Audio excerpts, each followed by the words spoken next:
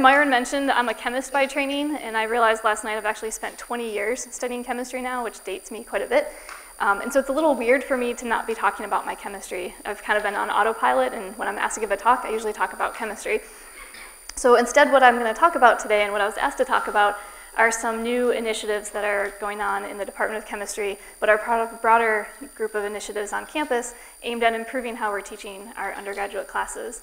And before I talk about those, I wanted to give you a little background of how those started, um, because I think it'll help give some perspective for the phase that they're at right now. So about two years ago, Tim McKay invited me to be part of a group called Rebuild. It's an NSF-funded group, and it consists of faculty and postdocs and a lot of the STEM departments in the College of LS&A. And we get together just about every other week for two years now, and our goal is to increase and improve the way we teach our undergraduate classes by increasing the amount of um, new educational strategies that we implement. So there's a rich body of literature of new strategies that are more effective than what we're currently doing. And our goal was to go through all that literature, analyze it, pick out the best strategies, and then start implementing them in our courses. And so the first part of my talk today is going to focus on work that was inspired by that group. Um, the second part of my talk is going to focus on a, another project that was started through HHMI funding. So about the same time that Tim asked me to be involved, involved with Rebuild, I applied for and got my first grant in education. So before this, all my grants were in chemistry, and this was my first sort of foray into education. It was a bit of a leap for me, but I was excited when it got funded, and that meant I now need to do that work. So that grant had three different parts to it, and I'm going to talk about one of those today, and that part was completely overhauling how we're teaching our undergraduate first semester teaching lab to our students. Um, so that will be the second part of the talk. Um, and so the first part of my talk is going to focus on the lecture hall and our introductory large lecture courses. I chose this picture to start because it really highlights the challenges that I face as a teacher. I don't know if you can make me out in this picture, but if you take a look at the screen and move sort of straight down, there's a pink dot there. That's me. This is Chem 1800. It seats about 450 students, and my current enrollment in my class is 404 students, so we pretty much fill up the whole lecture hall. And you may be surprised to find out that that photographer is actually not even in the back of the room. so she's about 10 rows down from the back of the room. And you can't really see me, you can't see my face. It's a really hard environment to keep everyone engaged. At least in here, in this smaller room, I can see everybody's face, I can look at you and try to keep you engaged, but it's much more difficult in this environment. The other challenge that we face here, and you can see it if you look closely in this picture, is that college today is very different than college when I went to school 20 years ago and when many of you also went to school. Our students now have cell phones, they have internet access, they have laptops, they have Facebook, they have Twitter, Snapchat, Yak, all these other things that I don't even know. they have got all these tugs on their attention. And when I went to college, I didn't have any of that. I didn't even have a cell phone or a laptop. So when I went to lecture, I was focused on lecture. Our students don't have that luxury anymore. There's text messages coming in, emails coming in, and it's really hard over that course of an hour to not, you know, pull it out. I mean, even when I'm in a faculty meeting, I pull out my phone sometimes and check it. It's just a really hard distraction to avoid. So a lot of what we're working on is trying to overcome both of these challenges. So how do I teach 400 students? So how do I do large-scale teaching, keep them engaged, get them learning during the class, um, during the, the entire period. And so those are my challenges. And um, one of the things I've learned from looking through the literature is that one of the biggest things that you learn is that me standing there talking for an hour to them is not the most engaging and effective way for them to learn. And so I think it's a little funny that I've been asked to come here today and talk to you for an hour about learning. And so what I tried to do in my talk today is incorporate some of the strategies that I use in my classroom. And so I'm going to ask you to participate in this lecture today as well. So this is actually the first thing you're going to have to do. So when you want to learn something new, what do you, how do you go about doing that? I want you to think about it. And I'm going to give you something specific so you can focus on that. I want you to think about if you had to learn a new language. So if you don't speak Chinese, let's pick Chinese because that's a rather difficult one, I think, to learn, and one that we're most not exposed to in school. So just think about for about 30 seconds just how you would go about learning Chinese if I said you had to do it in the next two weeks. What would you go and do?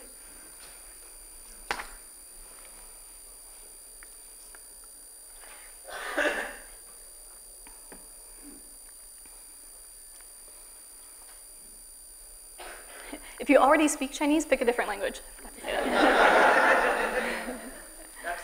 I know, I saw your hand go up.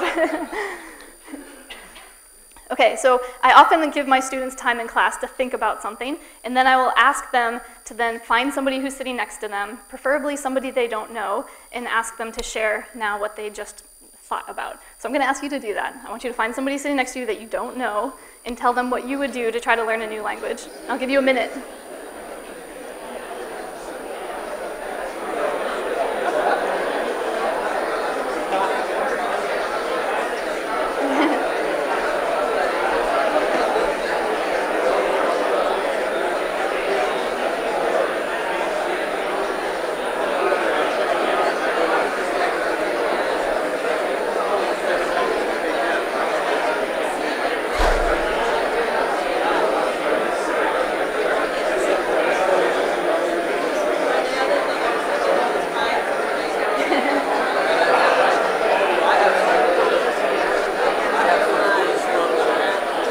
All right, going to come back now. so, you guys are, are much better at quieting down than my students. Normally, I have a harmonica or some sort of bell that I ring to try to get their attention again, but again, there's 400 students, it's a little bit harder. Um, so what I'd like to do is call on three volunteers to tell me what your neighbor said to you. So not your strategy, but your neighbor's strategy is. Yeah, and I'll repeat whatever said so everyone can hear.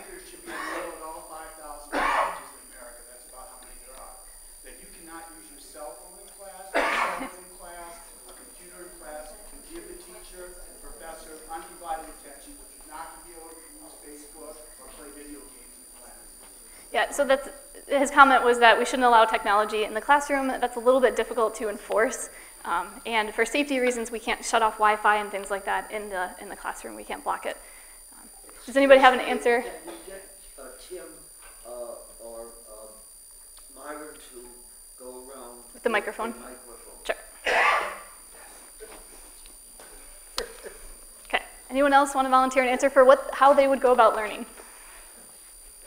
The one my neighbor gave was to find people who actually spoke that language. Exactly. Okay, so find people that spoke that language. What else? Yeah. My neighbor said to find somebody who's done it before and then ask them what they did. So he said find someone who's done it before and ask them what their strategy was for learning. That's a great one. Amelia said that she would surround herself with the language constantly. So, like podcasts and music, she offered a lot. Yeah. That's a great idea. Okay, we'll take one more and then we'll move on. he wants to go to China for two weeks. go to China for two weeks. That would be a great way. So you all came up with things that fit perfectly with what I was about to say next, which is learning takes place in a social environment. So there was a social component to every single answer that came here. You'd go to China, you'd go talk to someone who's done it before, you'd talk to someone who speaks the language. In all cases, we're learning from other people. You're here today because you want to learn from other people. We learn in a social environment, and this is an idea in the literature that's known as social constructivism, the idea that we construct our new knowledge by interacting with other people who are experts in that area. The other thing I heard from a lot of the answers was that you would actively be trying to speak the language. So you wouldn't just go listen to people talk, you would actually try to speak it. And that's a form of learning that we call active learning. You're not only thinking about the aspect of learning something, but you're actually doing it. And this cartoon is a little bit off, so we do want our students to be doing the doing during the class, but we also want them to be thinking about what they're doing. And so analyzing how are they doing? Are they getting the answer or are they struggling on something? What are they missing? So it's a combination of doing and thinking about what you're doing. So in the language example, if you're talking to somebody and they're really confused on their face and they understand Chinese, then you're, you're thinking that you're not doing it as well. and so you try to figure out what it is that you're missing. Um, so both of these strategies are going to be really evident in all of the things I'm going to talk about today, and they're really the underlying principles that I use when I think about changes that I'm making to a course to make my students both more engaged and better learning environments for them. All right, so I have one example from myself um, that I tried to learn how to knit over winter break. That was one of my New Year's resolutions, and my husband bought me a book, which, uh, if you've ever looked at books on knitting, are not all that helpful. As you can see from the example on the upper left, that was actually my third attempt, not my first. And um, what I want to point out is that you know knitting is something obviously you have to do. In the book, there was seven steps for the first thing you had to do, and there was only three pictures, so it was really, really hard to figure out what was going on. Um, but I started anyways from the book, and I made a lot of mistakes. We don't even need to point out all the different mistakes that are going on there. But the one that I focused on first was the fact that I started with 20 stitches, and by the time I was 10 rows later, I had like 44 stitches. so I knew there was something wrong, and I knew exactly what that problem was. So I was doing it, but I was also analyzing what I was doing, and I was able to search in Google very specifically for how to avoid adding stitches during knitting. And there, believe it or not, maybe there's a video of somebody who describes exactly that thing. So it's a six minute video on exactly that problem. It took me about a minute and a half in the video to figure it out. But this is a social learning thing. There's a person on the other end who's an expert in knitting and is gonna show me, even through a virtual environment, how to do this properly. And then my kids are now both very happy that they have their own scarves. so this is one example of active learning. Learning a language is another example of active learning, but organic chemistry and learning chemistry is also another form of a skill that you need to practice in order to learn it. And so that's what I'm going to focus on today. And so my goal is to keep them engaged and also get them to do things during the lecture period, just like we just did. And this is um, the thing I start every single lecture with. So some of you may know we have this thing called Michigan time. So one class ends at 10 and my class will start at 10:10. I sneak in the room the minute the professor before me has finished and I go up and put on the projector one of these problems. So as my students are filtering into the room during that 10 minute period, they pull out their notebook and they start working on the problem. And typically the problem will cover whatever it is we covered in the last lecture. So it's a way for them to check whether or not they've retained what they learned in the past lecture. And it's also a way for them to practice the skills that they're learning and talk to each other because class hasn't started yet, so they can sit down and they work on it together often. Once class starts, I will call on a few students to talk about their solution. And I don't even, I don't have them focus just on the answer. I make them talk through how they got to that answer. So what are all the steps they did along the way? And what this is useful for is that the students are hearing another set of problem solving strategies, um, but it's also useful if they have any misconceptions and so they say something that's wrong. I can fix that for everyone all at the same time.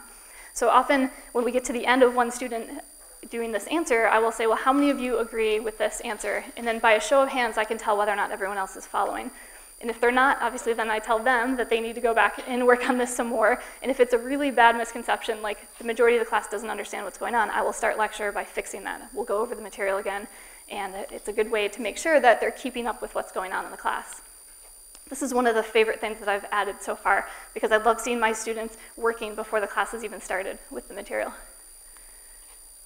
Another thing I do, which is related to this, is I take a lot of breaks during the lecture for them to work on solving some problems. And so I'll teach what I call like a mini lecture on a new concept, and then I'll give them a problem that relates to that concept.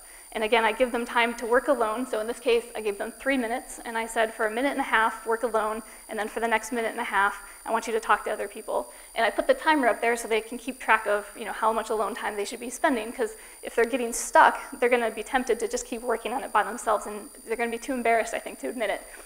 Um, so this does a number of things. I have them again, sort of a couple people share the answers at the end of this period, and we talk about whether or not everybody's understanding and following what's going on. But the fact that they're talking to each other encourages some collaboration in the room. It builds a sense of community and it helps them build their self-esteem too, because in some cases they will know what's going on and they can help their partner, and in other cases they're benefiting from their partner. And they're learning new problem solving strategies as well. Um, and as I mentioned, I use feedback, the non-technology feedback, I have them just raise their hands. And so not everybody votes, it's their option, um, but I can get a quick read on whether or not the whole class is following, or at least, at least half of the class is following what's going on. So in class on Wednesday, I was covering a new reaction called ozonolysis, and I actually thought it was a fairly simple reaction, and for some reason they just weren't getting it. So the first problem I threw up at the end of the mini lecture, it was like crickets. I mean, they didn't even know how to start the problem. so I stopped them and I said, all right, let's work on this together first. We worked through that problem and I gave them another one, and I still saw them struggling. When I called for people to volunteer, no one would volunteer. And so we worked through that one again, and we worked on another problem, and I just continue working with them until I'm sure that the majority of them are catching up and following along with what's going on. And I do have to cut things later on and shrink other things, but it's more important to me that they understand the concepts as we're teaching them rather than leaving them all confused and moving on to the next thing that's going to also confuse them. There is a technology-based uh, version of showing up your hands. so these are called clickers. They're like little remotes, and they're tied to the student's ID. So some faculty really like this because they can use it to take attendance. They can give points for the question and answers. Um, and this way, they can keep the students engaged. Right? These students look very engaged because they're probably getting credit for their answer. um, I don't like it personally because it's a little clunky. First of all, you have to have all your questions ready before the class starts, and you can't create them in real time. And most of the time when I'm asking for a show of hands, it's something that spontaneously arises during the discussion. So it's, I feel like it's a little um, difficult to work with that technology and do it effectively. Um, so this is not an active learning aspect, but this is one way that I try to um, keep them engaged in the course. And so I try, and I know all of my colleagues do this as well, we want to make our science as relevant as possible to their daily lives. And so whenever I'm picking and talking about a concept, I'm always trying to find a way to relate to them. So I teach a lot of pre-med students, and so I focus a lot on drugs. And in this case, I'm going to tell a, a very quick story about this drug named thalidomide, which some of you may be familiar with. So the structure of the active form is at the top on the left, and the thing I want you to focus on is the hydrogen that's on that wedge. That means that that hydrogen is sticking out of the plane of the screen. And the nitrogen that's on the dashed line, that's sticking behind the screen. And the rest of the molecule is in the plane. And so the difference between the molecule on the top left and the bottom right is that orientation. So the hydrogen that used to be sticking out is now sticking back, and the nitrogen that was sticking back is sticking out. so that's the basic concept of this thing called stereochemistry.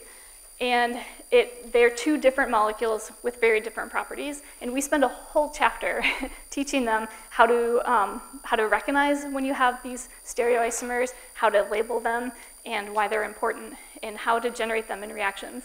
But it's a very abstract concept. Like they're connected to the same carbon. A lot of my students are like, why do we care whether or not they're pointing in or out? Like what difference does it make?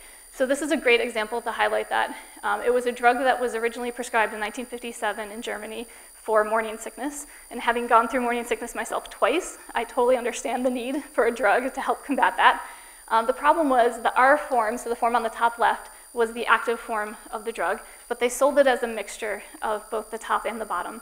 And the reason they did this is that it's cheaper and it's easier. When you make the compound, you actually make the mixture, and you have to separate them. And so it was just easier to market the mixture, and they thought that the one on the bottom was benign. But as many of you probably know and are familiar, it was not benign. It was actually a really severe mutagen. So there were about 10,000 babies that were born with severe birth defects because of this drug, because of the mixture, and about only about 50% of them survived. So it was a really major um, error, basically, on the, the part of the scientists. And this is the thing that people point to these days. I mean, we learned this lesson, right? Everyone learned this lesson, and we don't make this mistake anymore. And so any drug that's um, sold as a mixture now, you really have to very, very well demonstrate that both forms, or the, the, the non-active form is totally innocent in the body. Um, but this is a way for me to make you care about the stereochemistry, right? Um, these are future doctors. Now I've just told them why they need to care about stereochemistry as well. And so this is just one of my techniques for keeping them sort of interested in what I'm talking about and hopefully get them to want to think about it and talk about it later, you know, with family and friends and other people. Okay. Um, one of the other things that I do for my students when I'm giving them a problem is sometimes I'll give them a problem that's too hard for them to do at all. And I just let them struggle on it for a few minutes. And the reason I do this is it gives them uh, access to problem solving strategies that they wouldn't have generated otherwise. So if I give them a reaction that's got two different reagents in it and they've never seen it before, they're going to sit there and think, well, let me go back to earlier in the semester. Professor McNeil told me that all reactions take place between a nucleophile and electrophile, so I need to figure out which one is which, and that's where I'll get started. So it's a problem solving strategy that they wouldn't have pulled up if we had just talked about this topic. And so I do this every now and then to get them to see the connections between the material that they're doing. And so I let them struggle for about 30 seconds, and then I tell them, let me give you a little help. Let me give you some more information. And I'll give them just a tiny bit more. And I'll say, you know, this is related to this reaction we studied two weeks ago. Um, think about that and the parallels there, and I'll let them work on it some more. And I'll just do this over and over again until they get enough information where they can solve the problem. And this is, I've seen this is a very powerful strategy. There's light bulbs that are going off as they start sort of making those connections. Um, and so I was going to do that with you here. This is not a perfect fit for what I do in class because I'm not going to go over a lot of chemistry, but instead I'm going to have you think about um, this issue of pure extract of vanilla versus the imitation vanilla. Um, so this is hopefully something that everybody can relate to here. And the pure extract is a lot more expensive than the imitation, but I'm sure that you have a good reason if you are buying the more expensive version for that. So I want you to think about which version you would or do buy, and then why you're buying that version. And I'll give you about 30 seconds, and I'm going to ask you to share again. So think quietly for a few seconds.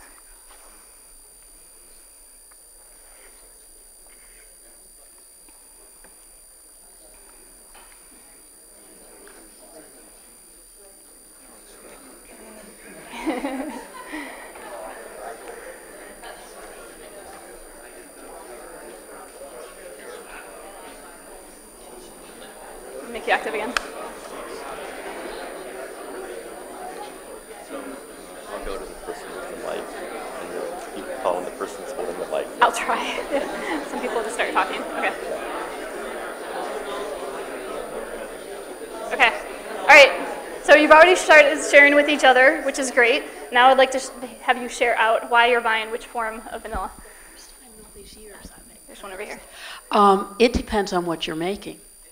It's a great question. Um, if the vanilla is part of a lot of other things and and is just sort of like an undercurrent, you can use the imitation.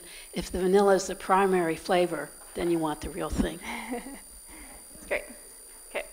You told me to only call on people with the microphone, so we're going to try that. people on the I'm side will going to disagree with her. Um, as the daughter of a baker and a baker myself, I only use the pure vanilla. I can taste it when someone's used imitation, no matter how little the format is. It tastes chemical to me. So taste and depends on what you're baking. Do you want? There's some people over here. I could run.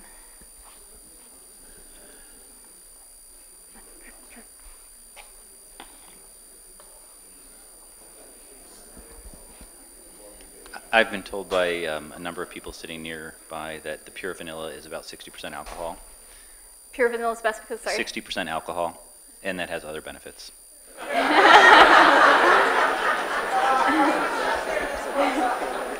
Okay, we'll do one more.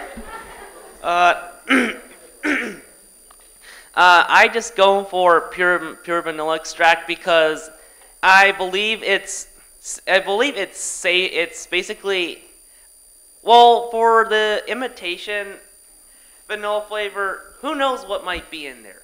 Even, well, yes. Even though I even though I have taken AP chemistry as a freshman, I still I do I still now who knows what might be in there, and I'm still I feel I just feel safer with uh, buying the pure, so it's worth the cost.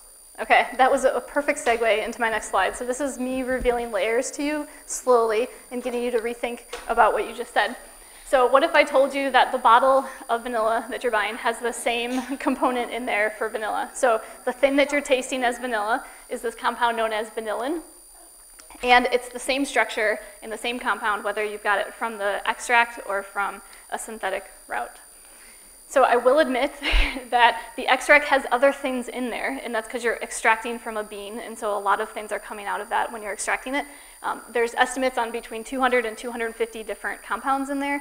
The majority of them we have to use really high accuracy instrumentation to even detect because they're in such low quantities, and the majority of them actually boil off when you're baking, so they're not there in your final product. So I'm going to let you take that in for a second and think about this again. Um, I won't ask you to share out, but let's just think about it again for a few seconds about which one you might buy next time.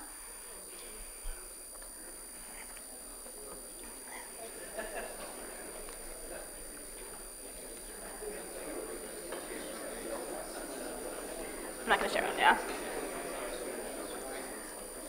All right.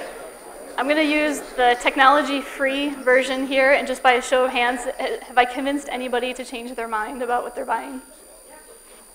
All right, we got a couple takers. All right, let me reveal one more layer for you. Let's talk about the sources of where they come from.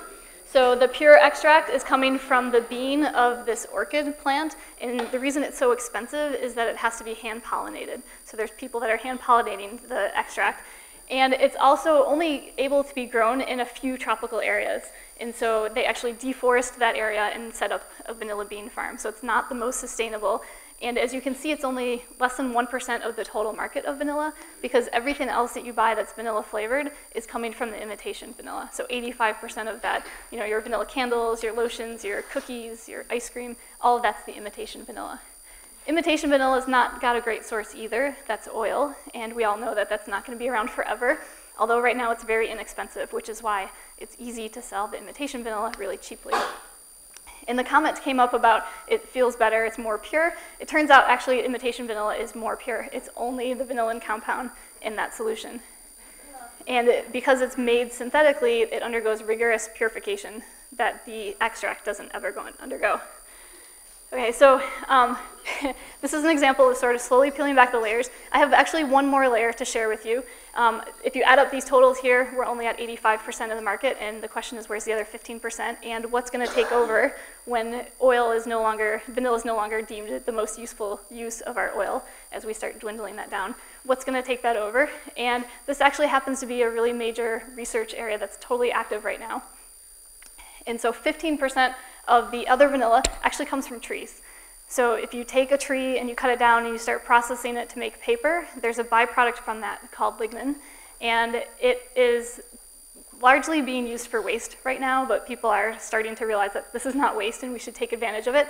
There's a company in Europe, one single company who's been doing this for decades. They break down that lignin and the vanilla comes out of it. So they're doing a chemical process to break it down, but it's, they're not synthesizing it. They're just breaking down this polymer that has vanillin in it.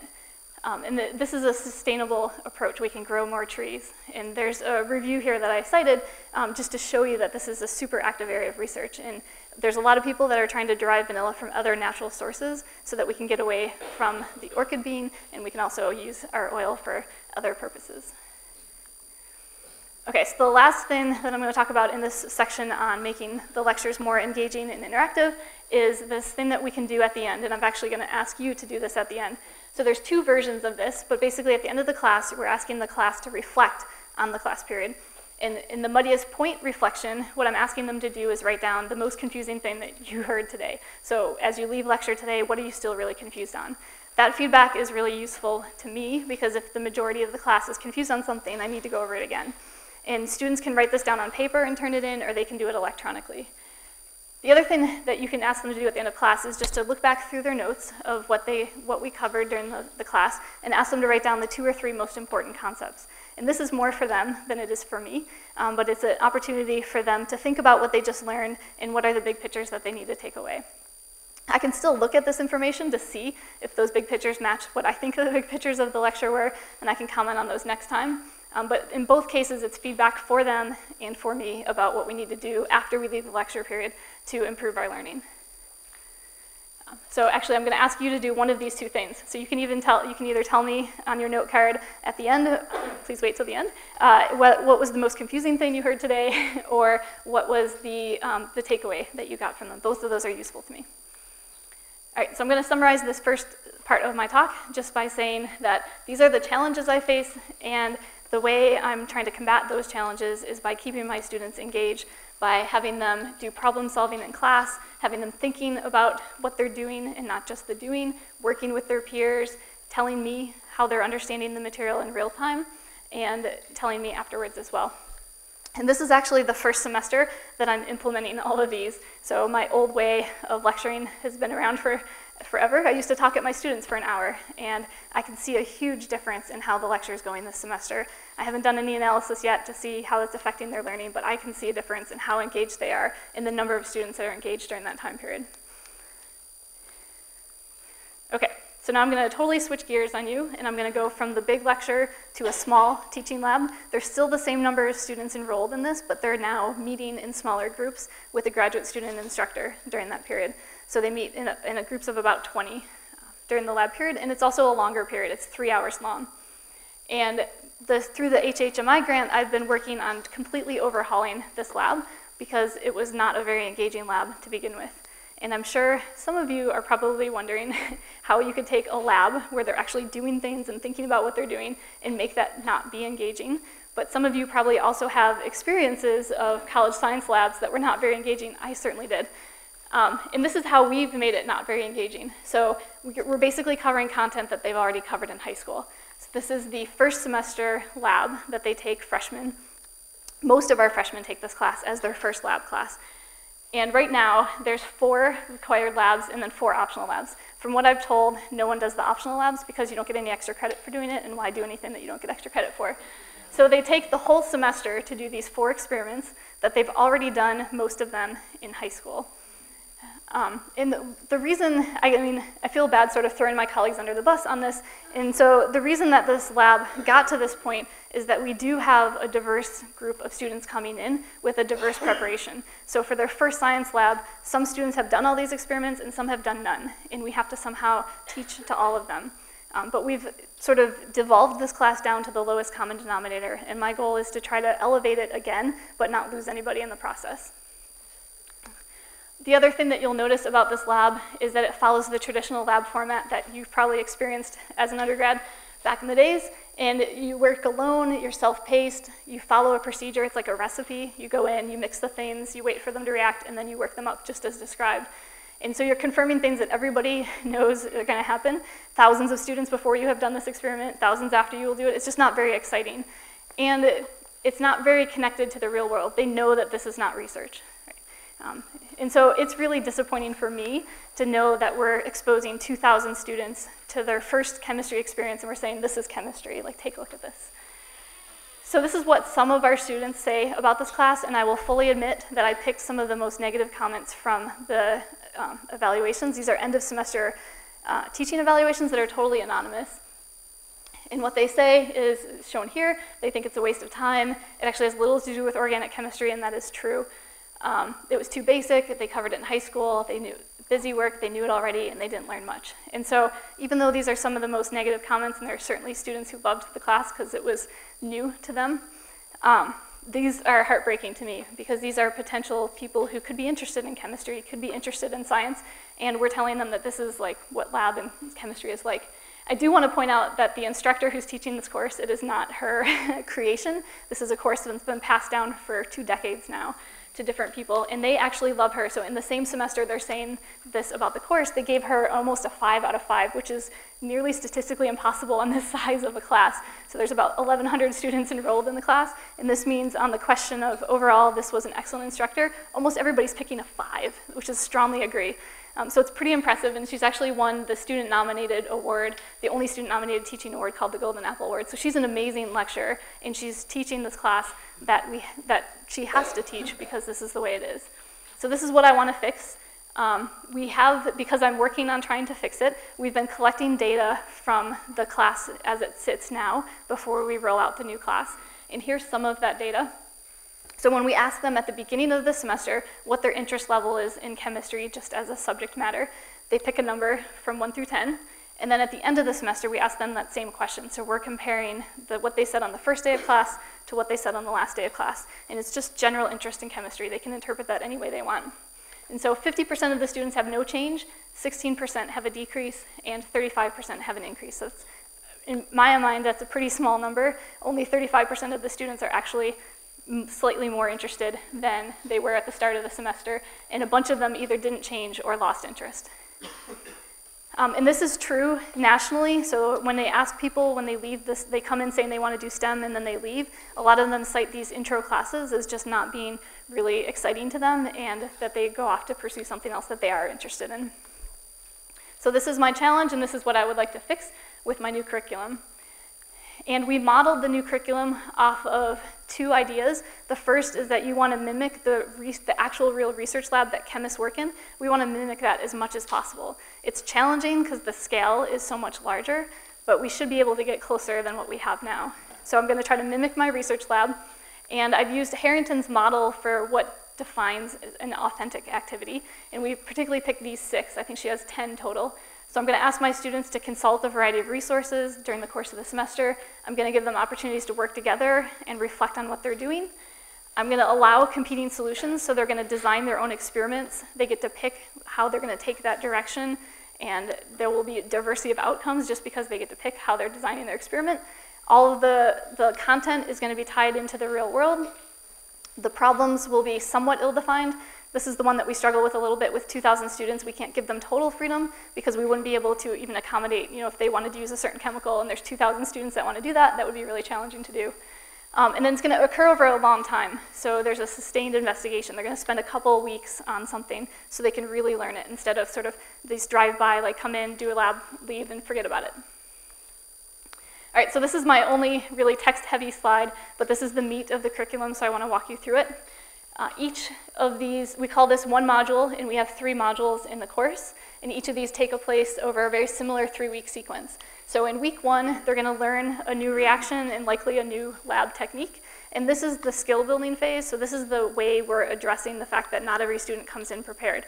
So some students will have already learned the skill when they come in. That one week, they might um, you know, learn a little bit more, but the majority of them are going to be sort of getting up to the same level of, of understanding of that. So that's our skill building week.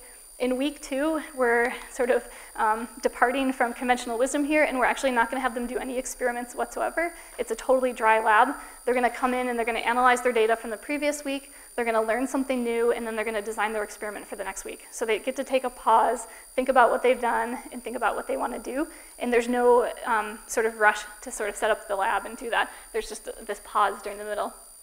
Then they come in on the third week, they run their experiment, they collect their data, they take that data home, and then they're going to later write a writing assignment based on that data.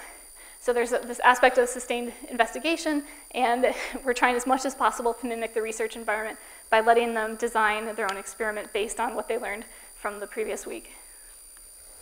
All right, so I'm going to walk through one of these modules so that you can kind of see the, the flexibility and inflexibility that we've built into the system. So in week one, this is module number two that we used last semester. In week one, they're going to run three different reactions. They're going to take the starting material on the left, convert it to the products on the right.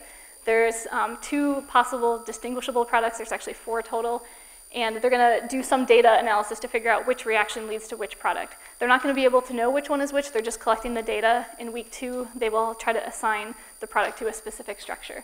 Um, and they're going to do this in small groups. So I have them in groups of four set up the three reactions. And what we noticed last term is that the students pick up a role. So one person will go and be the person that weighs out the reagents, and another person will be the, the their role will be to analyze the reaction while it's going on, and another person will work up the reaction. So they kind of define their own roles, and they um, share and distribute the workload.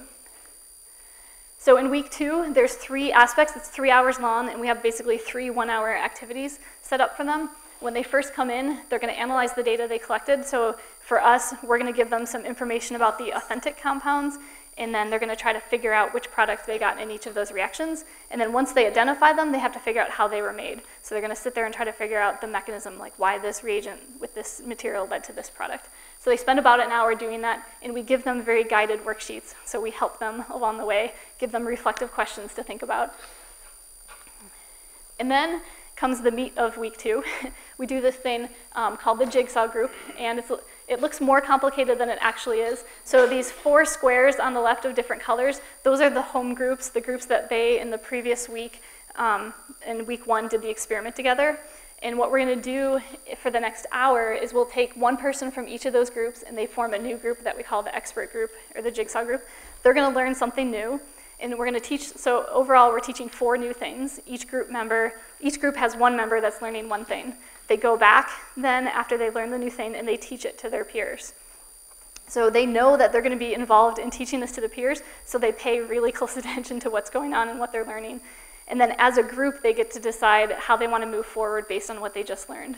So as an example of a jigsaw activity, in this particular lab, we introduced them to the concept of green chemistry. So this is the idea of trying to make whatever it is you're making um, in a more sustainable way for the environment. And there's, I think, 12 principles of green chemistry. We picked four of them, and the University, University of Toronto has this really great video series that explains it, so we just borrowed those. We let them watch the video, and then they answered some questions and did some problems based on that. Um, so each member of the group is going to learn about one principle. They're going to come back together as a group and decide which ones they want to use to um, measure the greenness of their reaction in the next week. Okay, so then for week three, this is still part of week two. They're gonna, this is their challenge that they have to do in week three. We assign each of them a unique molecule, so each group gets one molecule and they're all different. And we give them a couple of different starting materials and then the same three reactions that they ran in week one and they have to combine what they learned about the, um, the way the reactions work in week one. They have to combine that information with their specific target, and then they're going to apply whichever principles they want of green chemistry, and we tell them, just tell us which one's the greenest route. So if you have three routes to get there, which one do you think will be the greenest? And then they're going to go design that experiment and test it. So they come in in week three, they design their experiment, Um, and they have to, importantly, they have to do some controls. So they need to, if they say this one's greener than the other two routes, they have to do the other two routes and show that that was in fact true. They collect and analyze their data, again, doing this all in groups. So you can see here, they're all very interested in this one thing happening.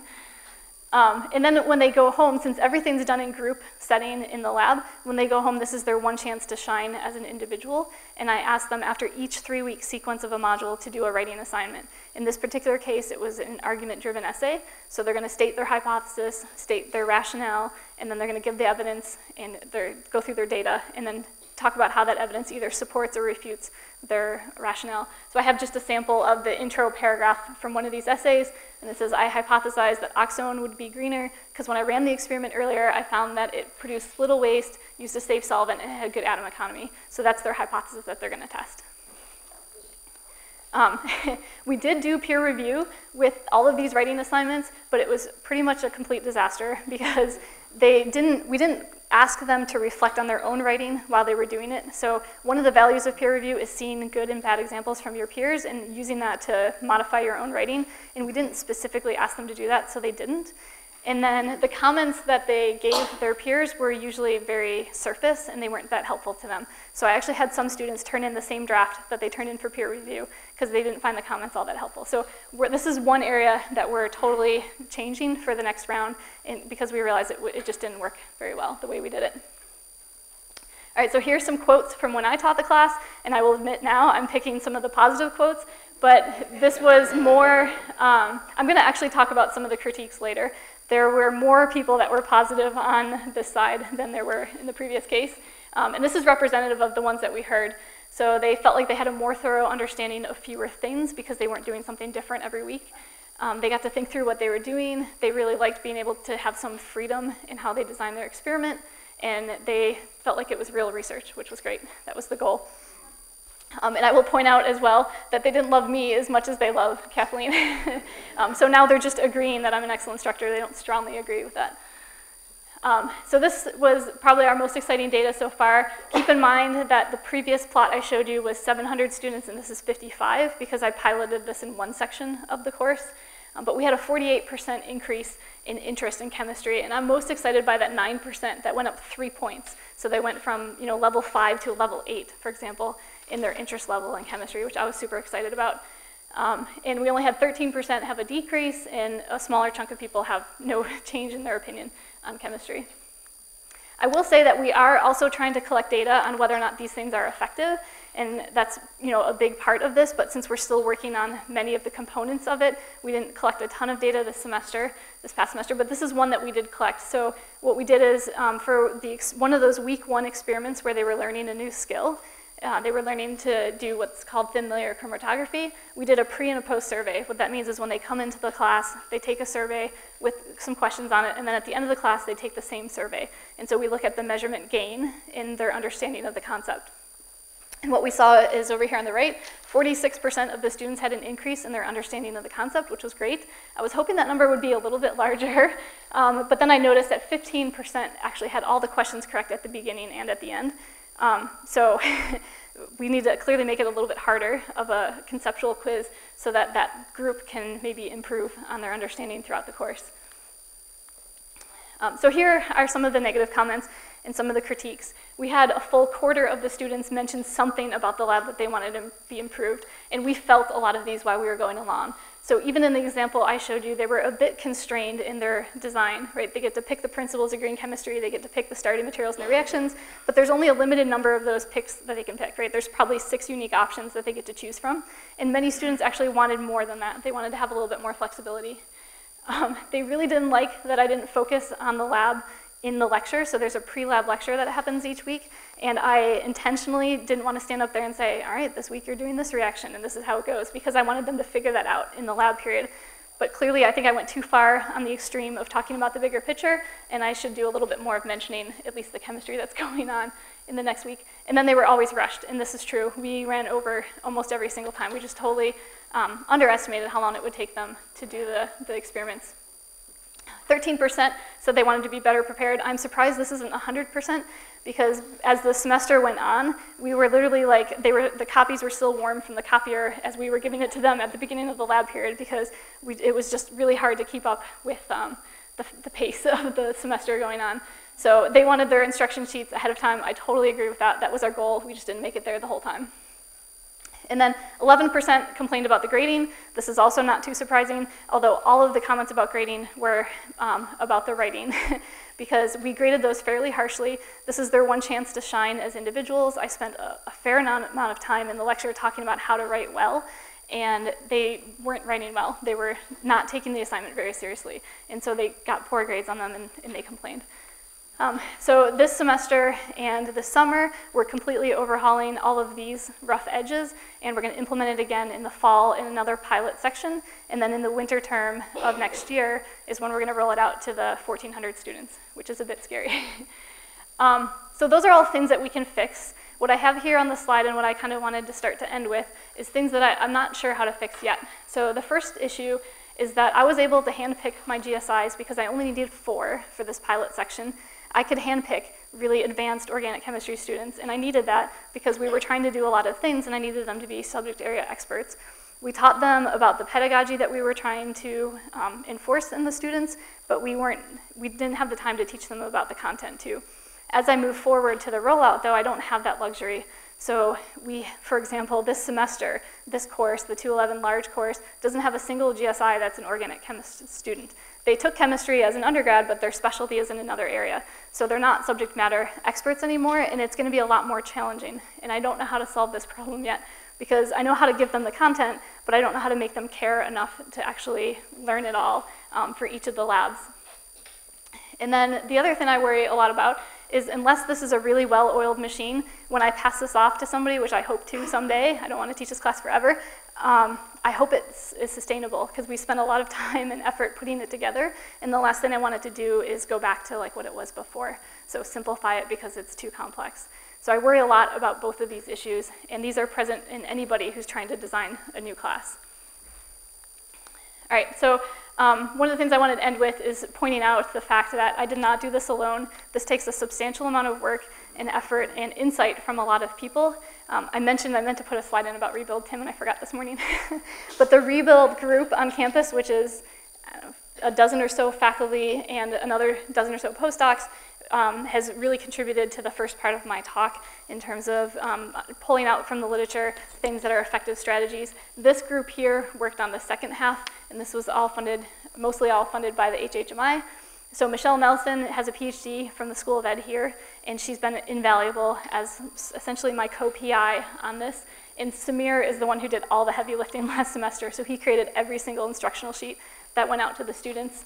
Um, Danielle's working on a different aim in this grant, but Carol Ann has, who's a rebuild postdoc, has taken on the massive challenge of rethinking how we do writing in this course. I strongly believe that it's important to work on their writing. I strongly believe that this is a way for them to reflect and learn, but we gotta figure out a better way to actually make it work. And then this volunteer army here at the bottom, they volunteered their time last summer every week to sit in a room with me and, and, figure out how to put this course together. And this course doesn't exist anywhere else. We took pieces of courses that we saw that were in the literature and we kind of mixed them together. So we took things from things we liked everywhere, mixed them together, and they were a big part in that. So I am forever thankful for all of their time and their free time. Um, so that's what I have for today. I'm excited to hear your feedback and answer your questions. Thank you.